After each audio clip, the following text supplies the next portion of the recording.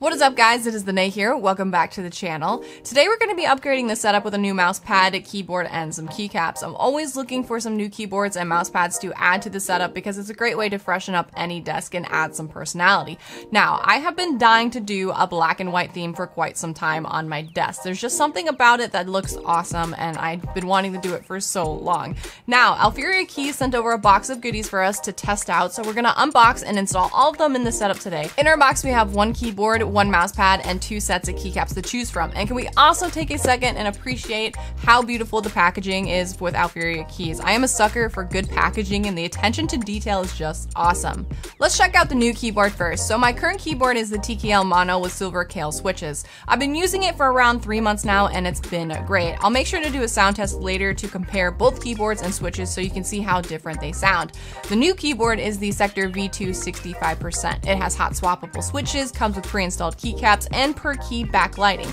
It can also be used wired or in Bluetooth mode. It claims to get around 8 hours of battery life, but I'm assuming that's with RGB lighting on. We'll have to find out later and test that out. Now, I decided to try out Kailh Pink switches this time because I've never really used clicky switches before and I wanted to see how I like them. There was also an extra set of pudding keycaps in the box. We'll check those out later, but I really like the pre-installed Sector V2 set. It has a cool black and white design on the spacebar. Definitely gives off those futuristic vibes I'm going for in my setup. Now last in our box is the matching Sector V2 mousepad. Now I love this mousepad so much. The design is so unique and paired with the Sector V2 keyboard, it is beautiful. I'm currently using this Boba Tea mousepad that I picked up last month for my setup and it's super cute. It has a little cow in the top right corner and a Boba Tea drink down in the bottom. Now the funny thing about this mousepad is my friend Justice actually showed me it and it's the only thing that I've ever bought instantly out of all the random cool things that he's tried to get me to buy. So I'm sure he's pretty happy that I actually bought something. So if you guys are interested in this mouse pad, I'll also make sure to leave it in the bio for you guys. Now let's take a closer look at the keyboard and check out the build quality. The pre-installed keycaps are PBT, so they should be pretty durable. As mentioned earlier, this keyboard does have hot swappable switches, so if you wanted to remove them and swap them out later in the future, you can do that.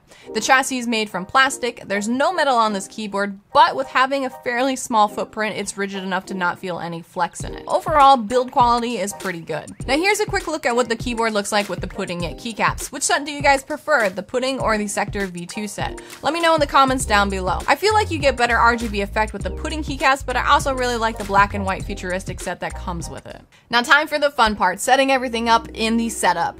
Cue the B-roll.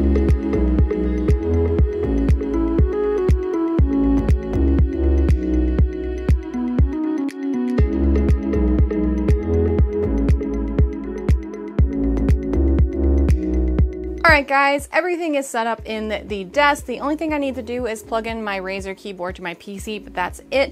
Everything else looks awesome. So my first impressions, absolutely love it. Love the black and white theme. I love the mouse pad. The keyboard looks awesome. It matches so well with all my new white stuff that I added into my setup. I picked up these speakers last week. They look awesome. Love them. Got them off Amazon.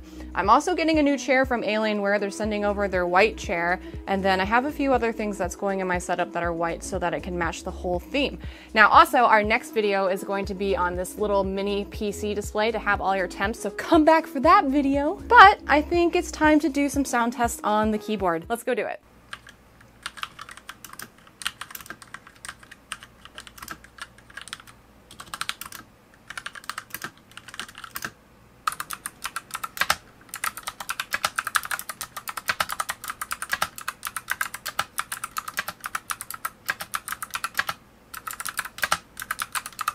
Huge sound difference, right? I've never owned clicky switches before. Although they're super satisfying to listen to, I'd probably advise not getting them because if it's gonna be your main keyboard, it's pretty loud and during gaming when you're talking to your friends on Discord, they'll probably hear you. But that shouldn't be a problem because as I mentioned earlier in the video, this keyboard is hot swappable and you can change out the switches if you wanted to at a later date. So that's it for the video guys. I hope you enjoyed it. We are going to be adding more keyboard videos over time to our channel because it's a hobby that I am really big into. I own a lot of keyboards. I collect a lot of artisan keycaps. I have a lot of custom desk mats that I collect you know, it's just something that I want to bring to our channel that I think a lot of people would enjoy as well as I would. So going forward, if there's anything that you guys saw in today's video from Alpherior Keys that you wanted to pick up, we do have a 10% off code down in the description under Tech Tesseract, which will get you 10% off of your order and save you some money. Also, make sure to come back this week because our next video is going to be on this mini display screen that you see here. So if you saw in the video, I had a screen on my desk that displayed all my stats for my PC,